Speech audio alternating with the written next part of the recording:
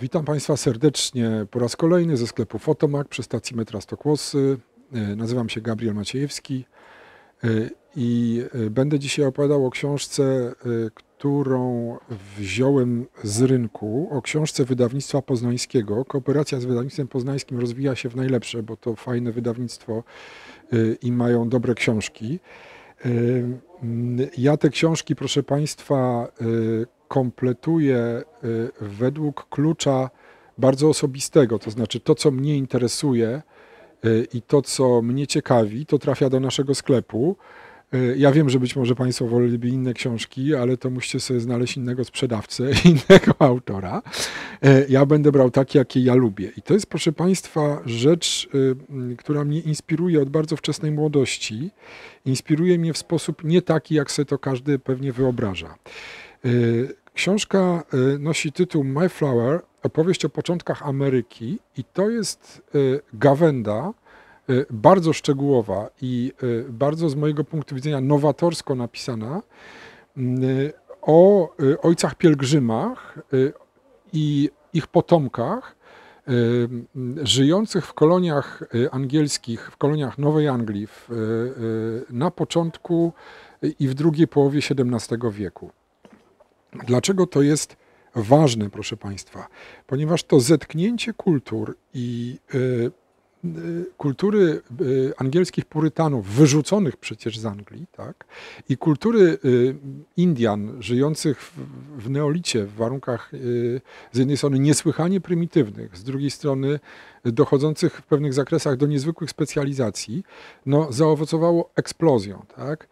Y, my się przyzwyczailiśmy y, do tego, że y, czytamy o tym i słyszymy o tym w takich zakresach bardzo romantycznych. Tak?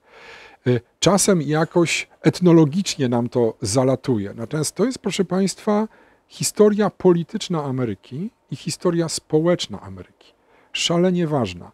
Dla mnie osobiście jest to istotne z tego powodu, że tu są wyeksponowane nazwiska, to znaczy nikt nie usiłuje nas przekonywać, że ojcowie pielgrzymi i plemiona zamieszkujące Nową Anglię e, poddane były jakimś procesom tak, społecznym, historycznym i że, i że e, te procesy wpływały na taki, a nie inny rozwój wypadków.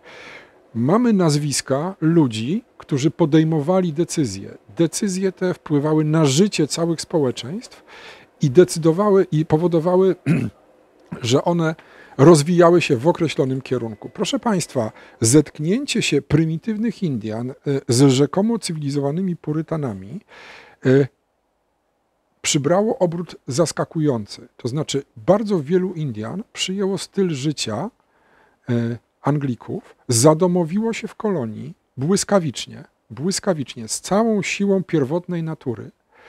Y, bardzo szybko nauczyli się języka, bardzo szybko zrozumieli, co to są pieniądze, bardzo szybko potrafili y, wdrożyć swoje, znane od, od setek tysięcy nawet lat, sposoby gospodarowania w te ramy, jakie narzucała zorganizowana społeczność purytańska y, i osiągnęli sukces. To było dość zaskakujące, może nie dla pierwszego pokolenia pielgrzymów, którzy byli zszokowani sytuacją, jaka panuje wśród społeczeństw pierwotnych, ale dla drugiego pokolenia ojców pielgrzymów był to spory szok. E, dla nas też jest to spory szok, bo mm, tak jak mówię, widzimy tylko tę romantyczną wersję historii, która została e, spreparowana dużo później. To znaczy w XIX wieku Amerykanie, już e, naród amerykański, zmontowali sobie swoją własną historię. Historię początków podboju. To oni wymyślili wielkich wodzów, to oni wymyślili tych wszystkich ludzi, którzy e, szlachetnie e, i bezkompromisowo walczyli z białymi po to, żeby im następnie ulec. Tak? To oni zbudowali całą tę malowniczą historię, z jaką mamy do czynienia dzisiaj. Autor Nathaniel Philbrick e, te wszystkie napęczniałe balony przekuwa. Buduje dramaturgię tej swojej historii zupełnie na innych zasadach. E, przede wszystkim pisze nam, że większość tak zwanych dzikich zorientowała się od razu, co się święci. Tak? I doskonale zdawała sobie sprawę z tego, że nie mają szans. Więc próbowali wykorzystać wszystkie możliwe opcje, jakie, jakie społeczeństwo purytańskie przed nimi otwierało, żeby się jakoś y, uchować. No i zrobił się kłopot, dlatego że nie o to chodziło społeczeństwu purytańskiemu. Społeczeństwo purytańskie nie przewidziało, że zostanie zdominowane przez żywioł miejscowy, natomiast było przekonane, że zdominuje żywioł miejscowy. E, to było trudne i wręcz niewykonalne bez zastosowania, proszę Państwa, no, narzędzia które znamy do dzisiaj i które określa się mianem rasizmu, tak? narzędzia politycznego, które wyklucza całe duże grupy z życia, degraduje je i powoduje, że te mniejsze grupy, które mają w ręku to narzędzie, jakim jest rasizm, żyją na koszt tamtych. E, dla nas najciekawsze jest to, że ojcowie pielgrzymi, no i generalnie protestanci tak, w Ameryce uważali się za chrześcijan. Dla nas, proszę Państwa, y, dzieci rzymskiego kościoła to nie są żadni chrześcijanie, tylko normalnie heretycy, którzy tam przyjechali po to, żeby zniszczyć społeczeństwa pierwotne i nie dać im żadnej szansy. I to w tej książce jest napisane wprost. E, proszę Państwa, rzeczy, które straszliwe historie, które rozgrywały się na, w Ameryce Północnej, zmusiły, e, zmusiły Anglików, a potem e, Amerykanów, ale głównie Amerykanów, do spreparowania swojej historii i do to jest bardzo perfidne, my sobie z tego nie zdajemy sprawy, ale to była jedyna droga, ona została podjęta od początku, od, y, poczynając od, od momentu, kiedy, kiedy Stany Zjednoczone uzyskały niepodległość, historia Ameryki jest preparowana. Y, Indianie występują jako ci przegrani, ale jako ci szlachetni. Tak? Przegrani, szlachetni wodzowie, którzy niestety nie zrozumieli nowych czasów, próbowali coś tam y, ocalić ze swojego tradycyjnego życia. Proszę Państwa, ci ludzie nie mieli żadnej szansy, ale my tego nie widzimy, bo oni y, w czasach późniejszych, w stuleciu XVIII-XIX, rzeczywiście już nie podejmowali prób, dlatego że te próby były niemożliwe do podjęcia. Dysproporcja sił, y, jakby to powiedzieć, głębokość cywilizacji białego człowieka nie dawała się już y, objąć umysłem człowieka dzikiego. Natomiast na początku było zupełnie inaczej.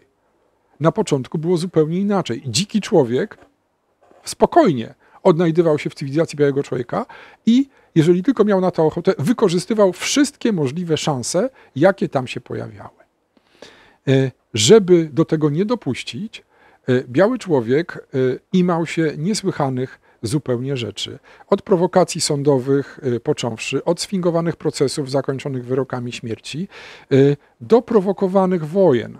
Y, bo to nie chodziło, proszę Państwa, o to, żeby walczyć z Indianami wrogimi, bo to każdy głupi potrafi, tylko o to, żeby wymyślić taki sposób, żeby zlikwidować i unieważnić społeczeństwa pierwotne zaprzyjaźnione z białym człowiekiem. To o to chodziło. Ja zwracam na to zawsze uwagę, że wrogowie to jest sprawa oczywista, tak? To jest sprawa oczywista, tam nie ma w ogóle miejsca na interpretację, tak? Natomiast sojusznicy, o, to jest dopiero problem. To jest dopiero problem, z którym trzeba się zmierzyć który trzeba opisać. Na poziomie doktrynalnym, proszę Państwa, na poziomie doktrynalnym. Ojcowie pielgrzymi mieli doktrynę. Była to fałszywa doktryna chrześcijańska, Fałszywa w dwójnasób, ponieważ to byli ludzie wykluczeni przez człowieka, który sobie rościł pretensje do tego, by być głową Kościoła Powszechnego, czyli przez króla Anglii, tak? bo to przypominam, Kościół anglikański nie jest kościołem narodowym. Kościół anglikański to kościół powszechny, który został stworzony po to, żeby y, odjąć władzę nad światem, władzę misjonarską Rzymowi. E, więc to są ludzie wyrzuceni przez fałszywego proroka, jakim jest dla nas król Anglii, i postawieni wobec rzeczywistości, która miała ich pochłonąć. Żeby się uratować, y, prowadzili misję. I tutaj cały czas oczywiście Nathaniel Philbrick y, nawet nie mrugnie, bo dla niego katolicy nie są chrześcijanami. Chrześcijanie to są poddani króla Karola. Y, więc, a wcześniej króla Jakuba. Y, to, y, to, to jest tak, że Indianie nawracali się na chrześcijaństwo, a następnie byli, y, kiedy przyszło do, do owych prowokacji, wojen i krwawych rozpraw, z tego chrześcijaństwa wykluczani. To nie było żadne chrześcijaństwo, tylko normalna purytańska herezja, tak? taka sama jak wszystkie inne wcześniejsze herezje, która zastawiała na tych biednych ludzi pułapki. Tak? Pułapki po to, żeby ich potem wykorzystać i potraktować jako pretekst, jako pretekst do tego, że dzicy się nie cywilizują. A nawet jak by próbowali, to nie warto tego czynić, proszę Państwa. Na takim fundamencie, na takim kamieniu ufundowana została cywilizacja w Ameryce Północnej. Jakże różna od tego, co działo się w Ameryce Południowej, co widać choćby gołym okiem.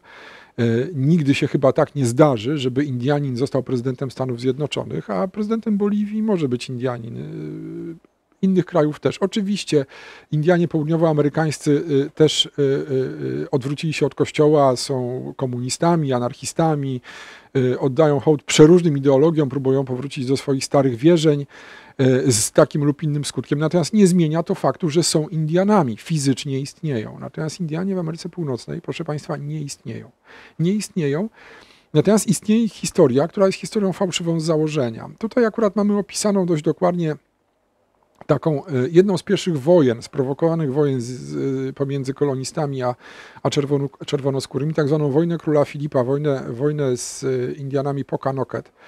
E, e, gdzie e, w każdej, w każdej książce polskiej opisującej te wypadki, a także amerykańskiej, dawniejszej, Metacom, czyli wódz Pokanoketów zwany królem Filipem, jest przedstawiany jako bohaterski wojownik, który bronił swojej ziemi przeciwko kolonistom i został wplątany w serię prowokacji doprowadzających w końcu do jego śmierci. Proszę Państwa, było zupełnie inaczej.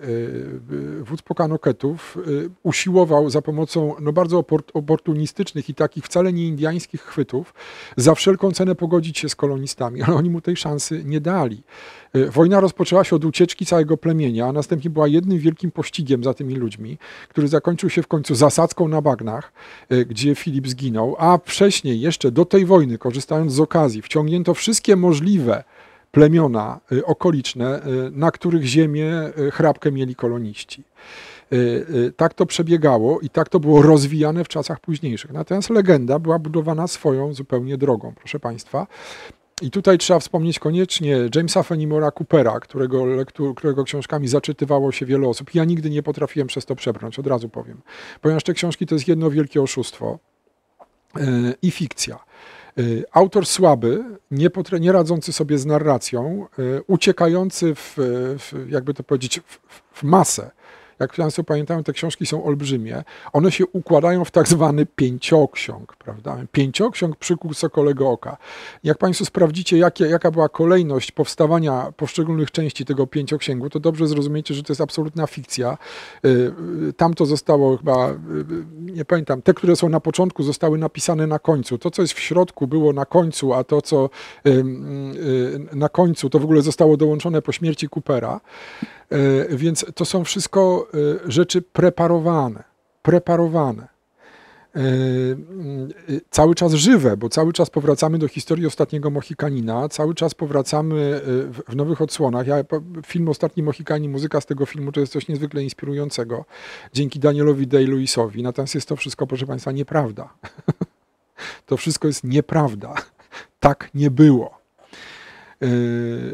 Mohikanie to e, bardzo sprzedajne e, plemię, które wynajęło się Anglikom już na samym początku i żyło w zasadzie z tego, że polowało na swoich pobratymców, a wyginęło wskutek zarazy, a nie wskutek bohaterskich walk z, z Francuzami a ci, którzy zostali, no, nie byli przesadnie szanowani i lubiani przez swoich pobratymców z lasu. Więc cała historia Ameryki jest wywrócona na nicę i przedstawiona tak, żebyśmy wierzyli w ten taki pierwotny konflikt który, który tam od razu istniał. No więc żadnego konfliktu nie było. Gdyby tam się pojawili katolicy misjonarze i dali szansę tym ludziom, oni by spokojnie zorganizowali się w społeczność, gdzie pośrodku stałby kościół, gdzie byłaby szkoła, Y, y, gdzie organizowałoby się jakieś życie duchowe, społeczne i wszystko by funkcjonowało. Natomiast tej szansy im nie dano, bo nie z takim zamiarem pojechali tam ojcowie pielgrzymi, a to, co oni nazywali chrześcijaństwem, nie było chrześcijaństwem w naszym rozumieniu tego słowa. Y, dlatego, proszę Państwa, dla tych wszystkich wątków to jest niezwykle ciekawy moment w dziejach i niezwykle frapująca historia. E, ja polecam, żebyście sobie Państwo przeczytali tę książeczkę Nathaniela Filbrika i porównali to na przykład z taką książką starą, dawno temu jeszcze wydaną z lat 70., którą czasem można dostać na Allegro za dwa złote. Tomahawki i muszkiety jest taka książka. Mm, historyk zajmujący się Ameryką, nie pamiętam w tej chwili nazwiska. Tam są te same historie opisane co tutaj, ale zobaczcie Państwo różnice. Warto też inne teksty porównać, bo to też jest niezwykle inspirujące i ciekawe. Y, Może kiedyś uda się podyskutować o tym, jeżeli znajdziemy jakiegoś specjalistę, jakiegoś specjalistę, podkreślam, od tych spraw, który zechce z nami, zechce z nami pogadać. Y, Bardzo Państwu dziękuję za uwagę. Jeszcze raz polecam Nathaniel Philbrick, My Flower, opowieść o początkach Ameryki, wydawnictwo poznańskie. Dziękuję.